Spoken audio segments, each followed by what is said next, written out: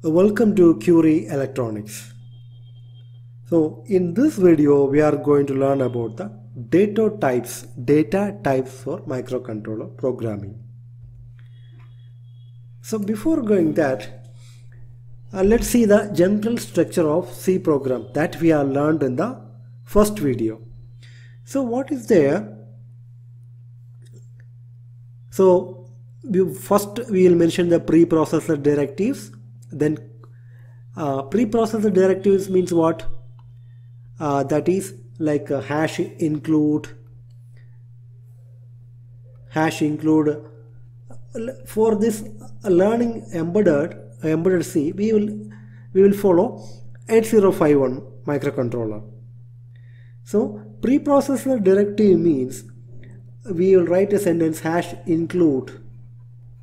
This hash is the preprocessor directive symbol hash include we write register 51.h and th that is a header file. So these are the these kind of uh, sentences that is hash include are the preprocessor directives and constant definitions. Constant definitions means uh, we can write it as hash define hash define on equal to 1 that means to turn on a LED instead of writing 1 we will write on. The 1 will be the on will be replaced by 1 by the compiler. Or uh, we can write it as hash define uh, what is there? Pi equal to hash define pi. That is equal to 3.142 uh, these are the constant definitions. Then what else is there? Then global variables. So this is the global variables. Global variables means what? Throughout the program we can access these global variables. Even inside any block of the code we can access these global variables. Then as usual what is there? There is a, a main function. That is void main void. Void main means it returns this main function returns nothing. Also it doesn't take any parameter. That is the main void. Then what is there? Inside the main function we have a, a variable declaration. Uh, then uh, some um, execution statements. Then finally all embedded should, systems should have a while loop. We have the while loop. So this is the basic structure of the C program. We need not to spend much time here by doing we will try to learn it. So data types in 8051 so before concentrating completely into the microcontroller we should have a general idea about the C data types. See data type is the declaration of variable or identifier. This variable is also known as identifier okay? Then this data types can be classify classification of data types. How can we classify that is primitive type? A derived type and user defined user defined. This also we are not going in detail but let us have a idea that these are the data types we are going to face. That is int in primitive data type int char float void double long int short int. Many are the short int also there but we need not to go in depth. So what is here when we write code for 8051 or a microcontroller, what is we generally going to use int, char, a long int, double float and all we'll use in the higher levels. But basically what we need, we need int and char.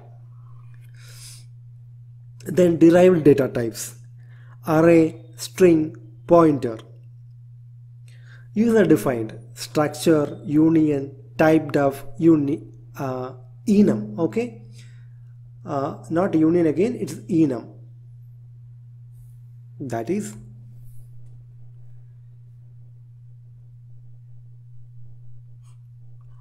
enum, enumerated data type. So these are all we will come, we will learn later we will write the real application to microcontroller and study all this. Next, see, now our focus is on learning the embedded C. So it is it is better to learn with a simple microcontroller. Simple microcontroller architecture is the popular 8051 microcontroller. Okay. Now here we have the data types. What are the uh, data types? Unsigned char. Unsigned char means it can it is a one byte. It required the data types gives the how much how much memory has to be allocated. When you declare when you declare data type data type the compiler knows how much memory how much memory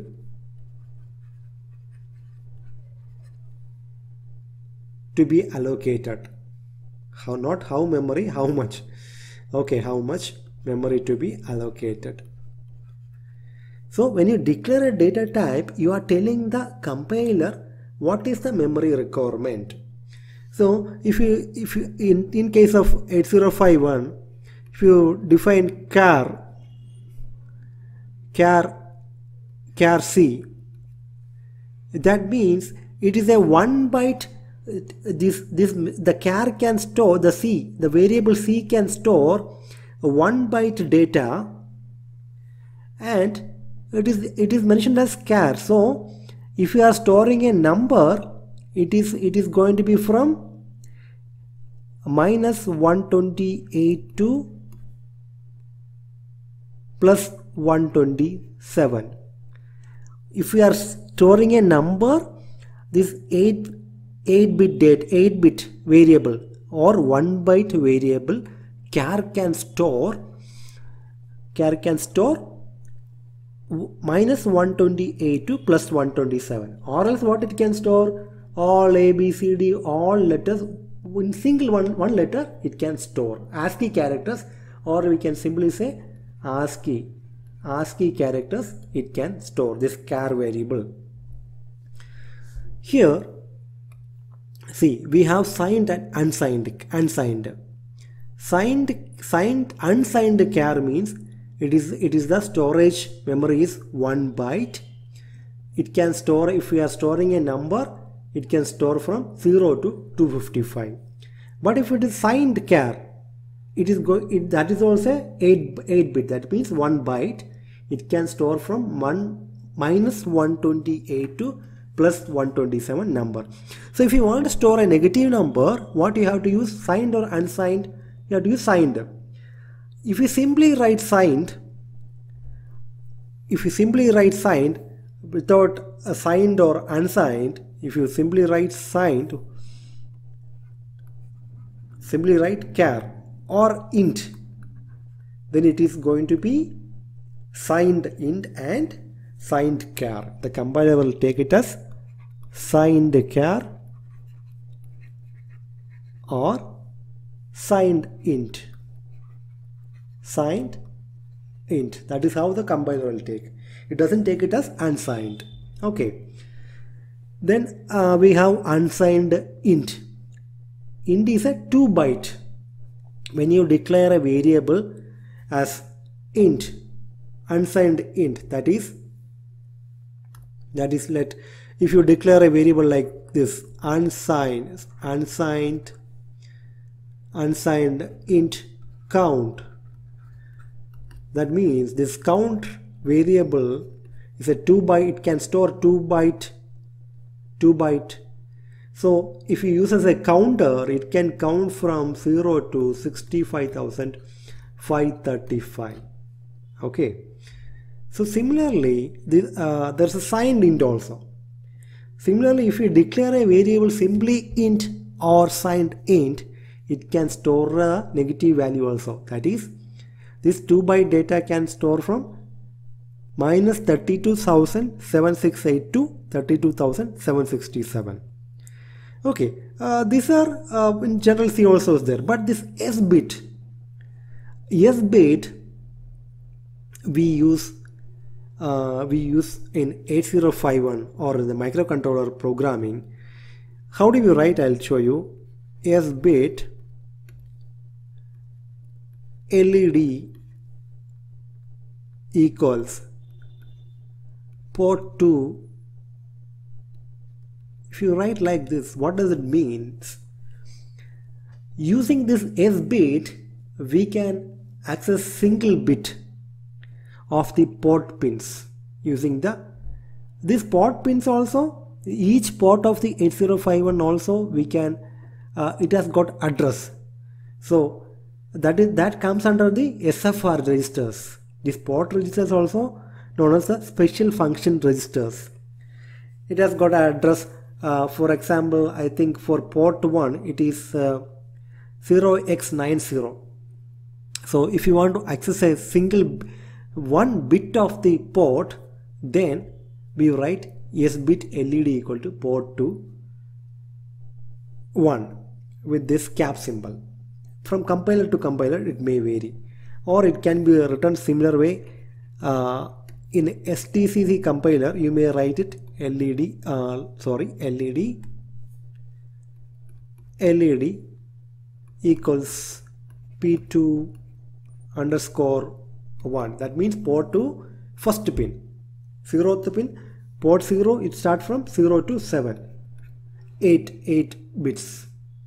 So this is how we use the S bit. Or as another if I say S bit. We want to connect a, a buzzer to a particular microcontroller pin. Then we will write buzzer.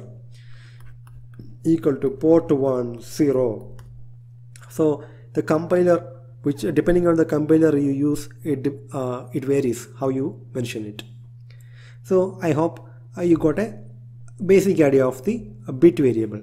Yes bit variable bit.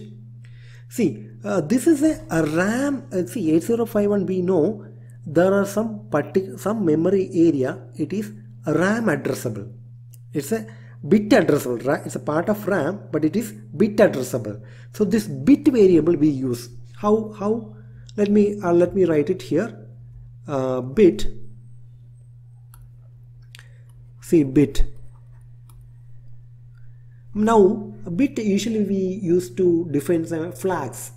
A bit uh, let me see. Switch. Underscore underscore flag. Equal to 0 so what I have done initially I have made the switch uh, the bit variable is a single bit. So this switch switch flag is a, a bit type variable and it can hold either 0 or 1 so I am using it as a flag. If somebody switches somebody press the switch and this uh, what happens? I will make this switch flag equal to 1 it is not the programmer is making when somebody switches the press somebody presses the switch this programmer will make the flag equal to 1 then we can do some processing. So that is how, how we use the flag. This and all we will learn more when you use the when you use the uh, when you write code for the microcontroller. Next is SFR see this SFR is a one byte one byte uh, instruction SFR. See what is there? SFR. Uh, we can see port port 1 I think it is 0x90. These SFR registers are byte addressable only. Byte addressable, okay? These are the byte addressable, not bit addressable, byte. Uh, these uh, the port registers, 8-bit uh, port registers, port 0, port 1, port to port 3 all this can be addressed with all this can be accessed using the SFR bit SFR bit so uh, these are the 8051 microcontroller programming. If we know these variables it will be easy for us to develop the code. Now uh, no need to worry now. What is there? Next with next uh, video we will try to uh, put this bit. I'll try to implement a program uh, for some uh, application then you will be coming coming across this data types. And also see 8 uh, 8051 is a 8-bit microcontroller. So obviously we are, our favorite what we are going to use more is the char variable. So unless we should use the see by depending on the data you have to choose the data type. If if you want to use a counter it is going to count up to 250 only or 250 only. Then what you have to use? You have to use the char current char only because it will take only one byte of uh, ram memory. Uh, if you really need then only you will go for the int or long int like that. Uh, otherwise what is happen? There will be a if you are simply without carelessness if you keep on using instead of uh, char if you use int and uh, put a number 10 you store it there. Then what happens? The memory overflow and all will happen. So we will i'll stop the video here.